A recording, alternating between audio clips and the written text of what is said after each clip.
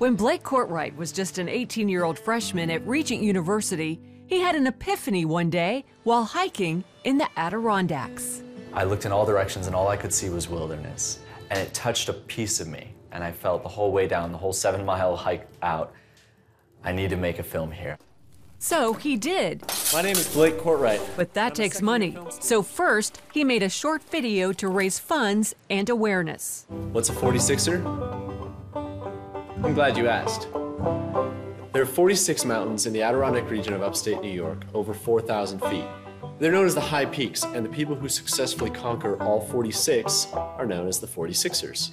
Now, three years later, with many of his own miles logged up these glorious rock formations and many interviews with those who've gone before, the 21 year old Blake is putting the finishing touches on his documentary, The 46ers, which has already piqued the interest of New York Public Television and some national outdoor networks. The Adirondacks, the high peaks, they ask a lot of you, but they give a lot in return. This is the landscape that, you know, that speaks to my heart.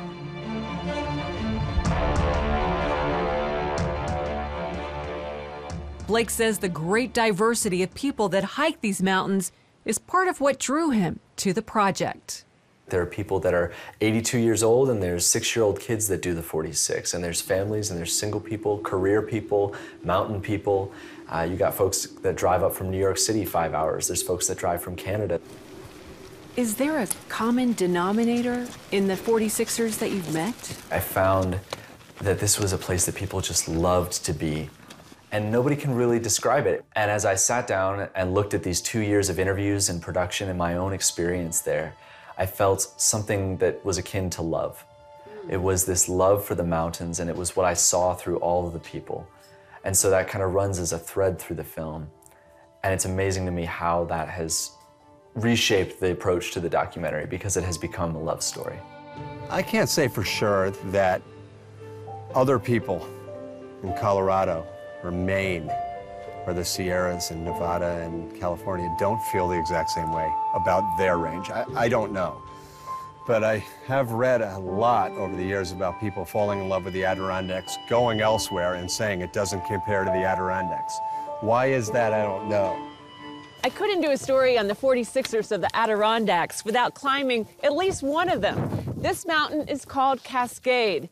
And although it is springtime, I'm hiking in snowshoes and it is freezing.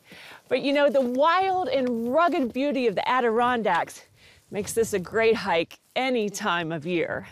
Also, something you can only do here in the winter is known as the Adirondack Butt Slide, a great way to get down the mountain fast and much easier on the knees.